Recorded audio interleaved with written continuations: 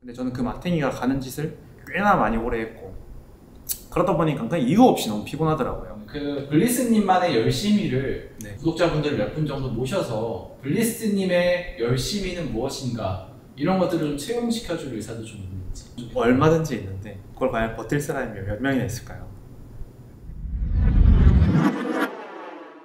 블리스님 요즘 네. 얼굴이 좋아 보인다라는 이야기를 실제로 음. 많이 들으시는 것 같고 제가 봤을 때도 되게 최근에 많이 좋아지신 것 같은데 네. 어, 비결 같은 게 좀 있는지 어 이게 얼굴이 좋아 보인다는 게 칭찬인지 모르겠지만 어쨌든 뭐 칭찬이라고 생각했을 때 제가 대회 끝난 지 지금 한 두 달 정도 됐는데 제가 두 달 동안 보충제랑 뭐 프로틴이랑 각종 가공식품, 가공 이런 것들을 싹 다 끊었습니다. 그랬더니 피부가 좋아진 게 아닐까 생각이 듭니다. 필수긴 한데 우리가 이제 흔히 먹는 단백질 같은 게 우리 몸에 이렇게 딱 들어왔을 때 몸에서는 어쨌든 걔를 분해하고 그 분해하는 과정에서 독성 물질들이 생산이 돼요. 근데 그거를 신장이 우리 몸의 필터거든요. 필터라서 이런 뭔가 안 좋은 물질들을 계속 계속 걸러내는 역할을 해서 신장이 많이 지칩니다.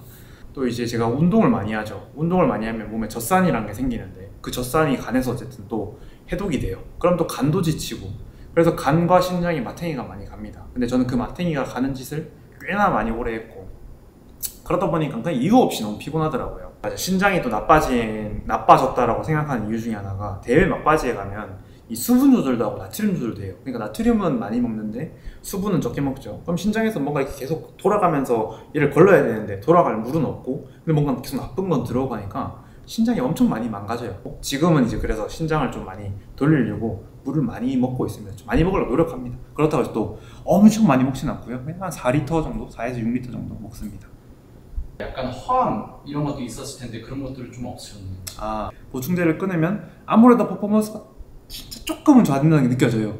근데 그러면서 이제 운동 강도도 사실은 많이 줄이는 거예요. 사실 지금 운동도 많이 쉬고 있습니다. 많이 쉬면서 몸한테 어쨌든 우리가 사실은 쉴 때 근성장이 일어나거든요. 운동할 때 근성장이 일어나는 게 아니고 그래서 몸에는 휴식이 필요해요. 그래서 저는 지나치게 몸을 혹사시켜 왔기 때문에 지금은 저한테 한 두 달 정도 휴식기를 줬고 어, 지금 이제 촬영 날짜가 지금 8월 1일인데 오늘부터는 또 달릴 준비를 하고 있습니다. 교수님 그러면은 네. 지금 보디빌딩 대회 성과도 나쁘지 않았고 사실 제 욕심 같아서는 네. 어, 휴식일을 가지는 것도 좋지만 이런 것들을 더 활용을 해서 더 운동을 끌어야 될 타이밍이 아닌가. 사실 저도 이제 물이 들어왔으니까 제가 보디빌딩 대회를 1등을 했으니까 아 물이 들어왔구나. 이제 물을 열심히 좋아봐야겠다. 라고 생각을 했는데 건강이 그 위에 있었어요. 그래서 일단 내 건강을 지켜야 내가 행복해지겠다라고 생각을 해서 건강을 회복하는데 최우선 초점을 맞췄고 그리고 뭐 내가 유튜브를 1년, 2년 할 것도 아니고 운동도 1년, 2년 할 것도 아니고 한 10년, 20년, 30년 할 건데 지금 당장 급하게 달려서 내 건강을 잃는 것보다는 장기적으로 바라보고 지금 내가 빨리 달려야 할 거를 조금 더 천천히 오래 가지 뭐 이런 생각으로 지금 이 모든 걸 끊고 운동도 약간 생활 체육 수준으로 하면서 어, 조금 쉬고 있습니다.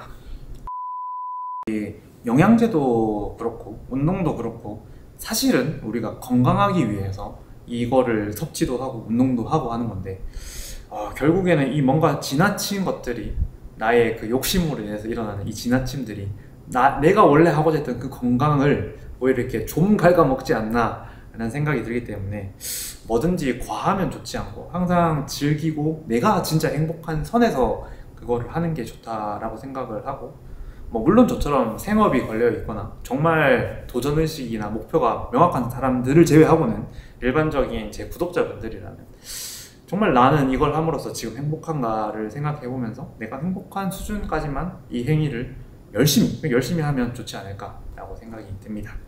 그냥 마지막으로 작게 하나 궁금한 거는 그 블리스님만의 열심히를 네. 다른 사람들한테 좀 구독자분들 몇 분 정도 모셔서 블리스님의 열심히는 무엇인가 이런 것들을 좀 체험시켜줄 의사도 좀 있는지 얼마든지 있는데 그걸 과연 버틸 사람이 몇 명이나 있을까요?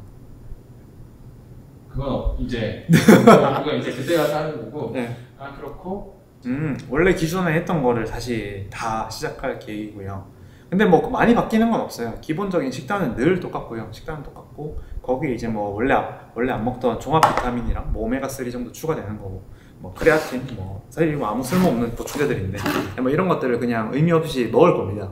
먹는 이유는 내가 이거 먹었으니까 좀 더 열심히 해야지 라는 생각으로 더 열심히 달려보기 위해서 다- 할 겁니다.